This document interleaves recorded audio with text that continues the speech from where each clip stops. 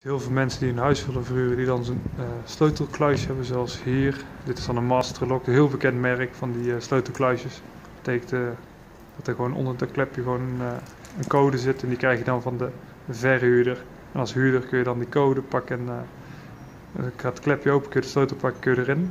Het mooie is dat je natuurlijk als verhuurder steeds weer die code kan wijzigen. En zo, ja, zo kun je eigenlijk je huis verhuren. En er wordt heel veel gedaan inmiddels. Ik denk, laat even gewoon zien hoe zijn kastje eruit ziet. En in het bericht natuurlijk heel veel tips over een woning verhuren wat erbij komt kijken.